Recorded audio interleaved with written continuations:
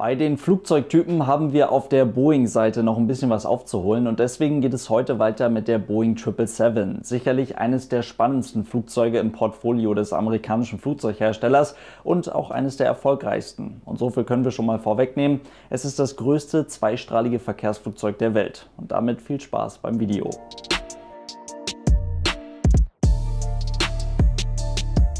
Und damit hallo und ganz herzlich willkommen zu einem neuen Video. Ich hoffe, es geht euch gut. Also, die Boeing 777, die kennt ihr sicherlich alle. Eines der beeindruckendsten Flugzeuge, die zurzeit so am Himmel unterwegs sind. Und ich habe es eben schon vor dem Intro einmal gesagt, es ist das größte zweistrahlige Verkehrsflugzeug der Welt.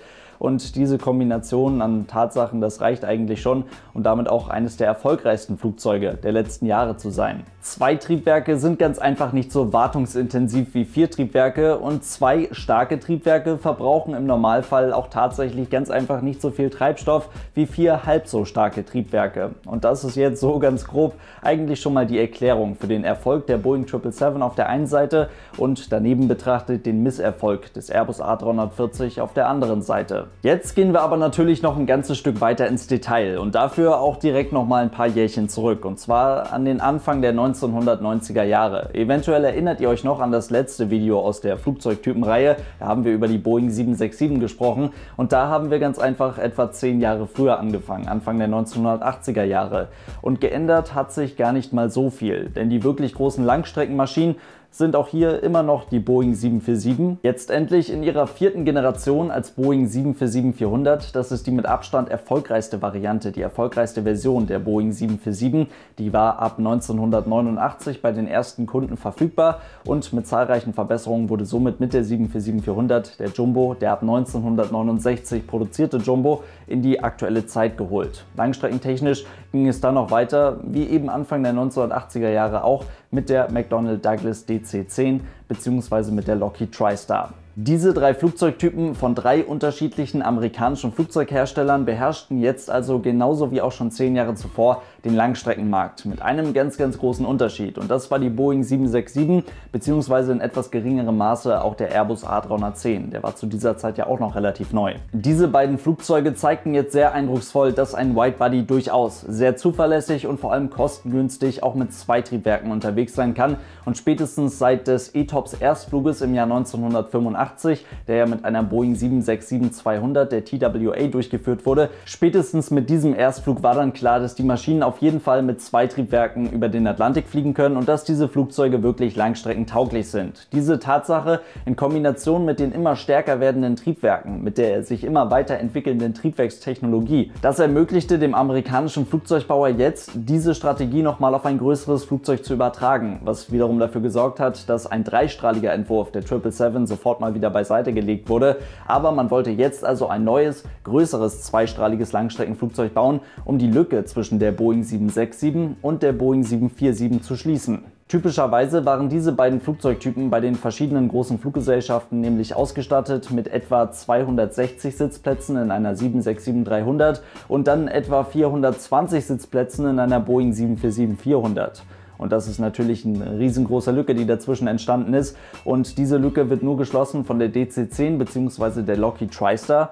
Also zwei Flugzeugen, die tatsächlich schon sehr, sehr alt sind zu diesem Zeitpunkt und zwei Flugzeugen, die mit jeweils einem Triebwerk zu viel unterwegs sind. Das haben wir eben gerade erklärt. Also braucht man da jetzt ein neues Flugzeug. In dieser Lücke ist eine ganze Menge Potenzial zu finden. So viel also erst einmal zur Grundlage, um dann nachvollziehen zu können, warum dieses neue Flugzeug, warum die Boeing 777 in dieser Zeit so wahnsinnig gut angebracht war. Man hatte es hier beim amerikanischen Flugzeugbauer ganz einfach richtig gut hinbekommen, die aktuelle Situation am Markt zu interpretieren, wo das Ganze sich hin entwickelt und das dann zu kombinieren mit der fortschreitenden technischen Entwicklung und das dann in einem ordentlichen Flugzeug zu verpacken. Das war also die Aufgabe und das hat ja nicht nur Boeing erkannt, das haben auch andere Hersteller erkannt und versucht, zum Beispiel McDonnell Douglas, die jetzt mit der Entwicklung ihrer verbesserten MD-11 begonnen hatten, oder auch Airbus, die das A330 bzw. A340 Projekt starteten. Bei Boeing stand man jetzt vor der Frage, ob man diese Problematik, die wir eben analysiert haben, ob man die jetzt eventuell sogar als erster dann natürlich mit einer verlängerten Boeing 767 schnell mal ebenso lösen kann oder ob man es etwas weniger schnell mit einer Neuentwicklung lösen muss. Die Antwort darauf gaben dieses Mal die Fluggesellschaften. Boeing entwickelte jetzt von Grund auf neu und ließ sich dabei erstmals von einem Computer entsprechenden Berechnungen und Simulationen im großen Stile unter die Arme greifen. Die Boeing 777 war tatsächlich das erste Flugzeug weltweit in der zivilen Verkehrsfliegerei, das komplett am Computer designt wurde.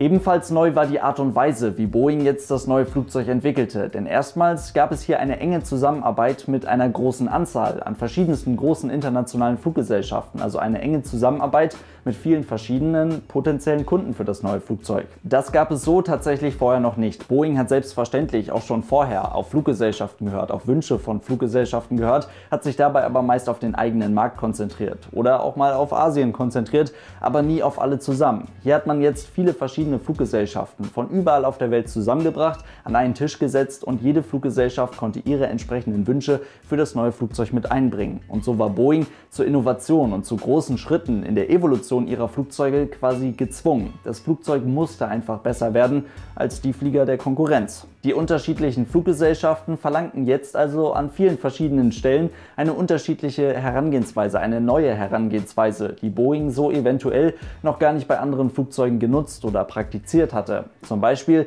erstmals in einer zivilen Boeing gab es ein Fly-by-Wire-System, eine Fly-by-Wire-Steuerung, also keine mechanische Verknüpfung mehr zwischen dem Steuerhorn vorne im Cockpit und den Steuerflächen des Flugzeuges. Das wurde auf gar keinen Fall nur bei Airbus benutzt, sondern das gab es ab der 777 auch beim amerikanischen Flugzeugbauer Boeing. United Airlines wurde 1990 Erstkunde der vielversprechenden Maschine, für die man sich da wie gesagt an einen Tisch gesetzt hat und alles mal an Wünschen zusammengeschmissen hatte. 34 Flugzeuge kauften die, um damit dann ihre DC-10 zu ersetzen. Das alles aber unter einer bestimmten Bedingung und zwar musste das neue zweistrahlige Flugzeug bei United Airlines mindestens genauso leistungsfähig und performant sein wie der dreistrahlige Vorgänger bei der Fluggesellschaft. Ja, okay. Und dann kam All Nippon Airways aus Japan auch noch um die Ecke und wollte das Flugzeug doch noch mal etwas länger haben, damit man Platz hat für ein paar zusätzliche Sitzreihen. Dann kam aber auch noch Cathay Pacific aus Hongkong und die verlangten eine Vergrößerung des Rumpfquerschnitts auf 747 Größe, damit in die neue 777 nebeneinander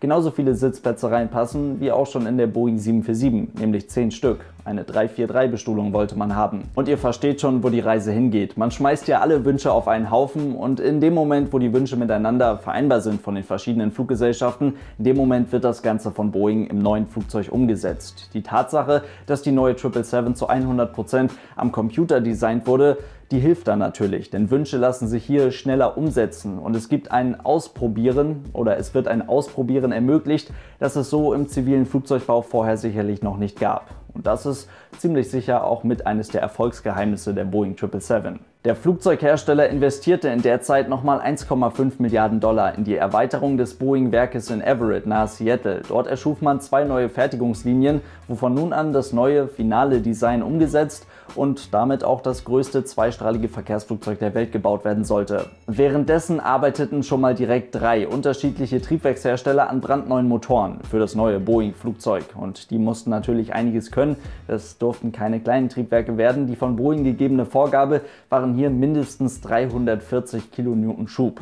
Das ist eine ganze Menge. Nur mal so zum Vergleich, die damals ja sehr aktuellen Triebwerke der aktuellen 747-400, die schafften je maximal 280 Kilonewton Schub. Alle drei Hersteller schafften es aber, diese Vorgabe zu erfüllen und brachten dann pünktlich zum Start des 777-Projektes ihre jeweiligen Optionen mit. Die erste Maschine, die erste 777-200, verließ dann im April 1994 die Hallen nahe Seattle. Mit insgesamt neun Flugzeugen startete dann eine fast zwölf Monate andauernde Testphase der neuen 777, an deren Ende die Maschine dann von der FAA bzw. auch den europäischen Luftfahrtbehörden im April 1995 zugelassen wurde. Die erste Maschine, die erste 777-200 mit ETOPS 180 Zulassung, wie es für United Airlines vorher Bedingung war. Die erste Maschine wurde dann direkt im Mai 1995 an den Erstkunden übergeben, ausgestattet mit Pratt Whitney Triebwerken und das war ziemlich genau ein Jahr, nachdem Airbus den ersten A330 an einen Kunden übergeben konnte und mittlerweile konnte man auch schon fast zwei Jahre den A340 am Himmel sehen. Die neue 777 konnte aber vor allem den Airbus A340 sehr, sehr schnell am Markt überrennen. Bis auf ein paar vereinzelte Probleme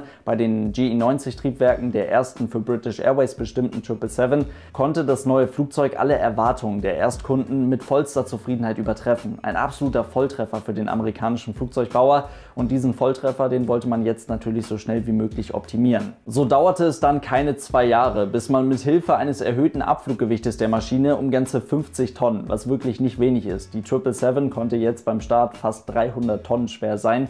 Damit schaffte man es, die Maschine oder die Fähigkeiten der Maschine nochmal wirklich ein ganzes Stück weiter auszureizen. Denn dieses Zusatzgewicht kam vor allem in Form zusätzlichen Treibstoffes an Bord der Maschine und das ermöglichte der ab 1997 verfügbaren 777-200ER, das ER steht auch hier für Extended Range, eine Reichweite von etwas mehr als 13.000 Kilometern. Und das ist mittlerweile 747 Niveau. Fast zumindest. Die Leistungsreserven der 777 konnte man jetzt aber auch in Form eines verlängerten Rumpfes ein kleines Stück weiter aufbrauchen. Und somit brachte man ebenfalls im Jahr 1997 neben der 200 ER auch die 777-300, bei der man den Rumpf der Maschine direkt mal von 63 Meter um 10 Meter auf 73 Meter und 80 Zentimeter verlängerte was eine ganze Menge ist, denn damit war die 777-300 jetzt kurzzeitig das längste Passagierflugzeug der Welt. Mit Hilfe der vergleichbar breiten Kabine der 777 und einer großen Menge an Türen schaffte man es dann, ein Einklassenlimit von 550 Passagieren zu erreichen. Und damit hatte man jetzt mit der 777-300